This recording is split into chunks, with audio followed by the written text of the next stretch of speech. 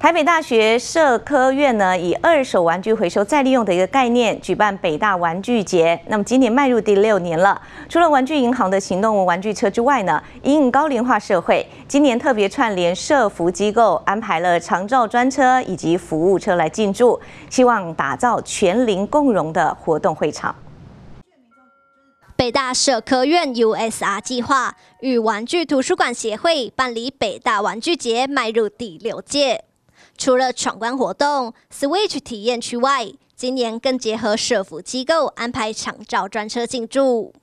那面对高龄化的到来，我们今年的玩具节特别增加很多高龄的服务啊，包括很多长照的专车，有卡拉 OK，那同时也有怀旧的游戏，那也有陀螺的一个表演。那同时也有很多呃学生志工来为长者提供服务。那今年这个玩具节的特色就是逐渐从小朋友到家长，那么同时延伸到呃祖父母，变成是一个社区的一个全龄的活动。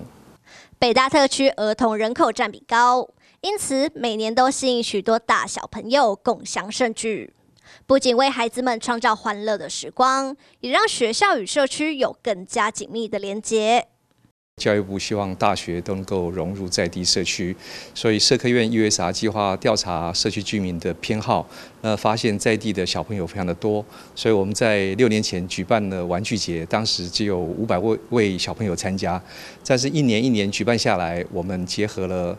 呃新北市玩具银行，那同时呢也一步一步把社区的居民带出来，目前已经成长到啊一千五百位呃民众共同参与。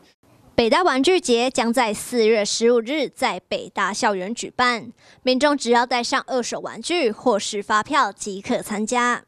更多资讯可以到北大网站查询。